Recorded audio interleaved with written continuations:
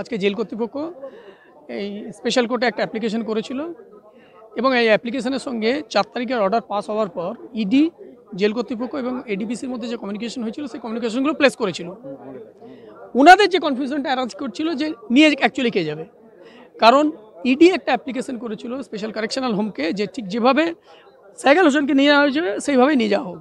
কিন্তু এখানে জানেন সাইকেল হোসেনকে যেভাবে নিয়ে যাওয়া হয়েছিল আর এই যাওয়ার মধ্যে একটা পার্থক্য আছে, পার্থক্যটা সৃষ্টি হয়েছে because of an order pass by the honourable high court on fourth honourable high court সেই অর্ডারে বলে দিয়েছে যে নিয়ে যাওয়ার আগে অনুব্রত মণ্ডলের মেডিকেল এক্সামিনেশন করাতে হবে by central institute at Kolkata যেখানে তিনজন ডাক্তার থাকবে।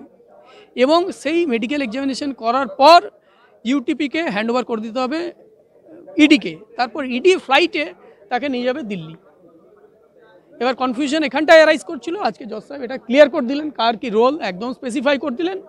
এবার তারা নিজেদের মধ্যে কোঅর্ডিনেট করে টাইম ফিক্স করে এক্সিকিউট করবে সার্চ ওয়ারেন্টটা মানে কি জেল কর্তৃপক্ষ কি বললেন? জেল কর্তৃপক্ষের ভূমিকা হচ্ছে জেল কর্তৃপক্ষ কর্তৃপক্ষ কলকাতা নিয়ে যাবে কলকাতার কোনো সেন্ট্রাল ইনস্টিটিউটে মেডিকেল এক্সামিনেশন করাবে।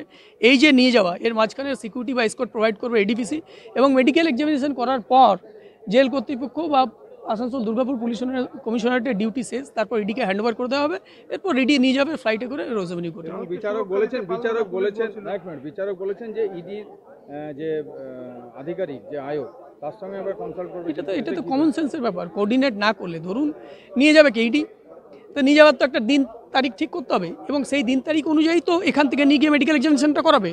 মানে এমন তো না গিয়ে পরে মেডিকেল এক্সামিনেশন করে ওকে বসিয়ে রাখলাম কবে ইডি আসবে তা তো হবে না। কোঅর্ডিনেশন না হলে টাইমিংটা প্রবলেম হবে। এই জন্য কোঅর্ডিনেশন করতে পারছে কোঅর্ডিনেশনটা কমন সেন্সের ব্যাপার।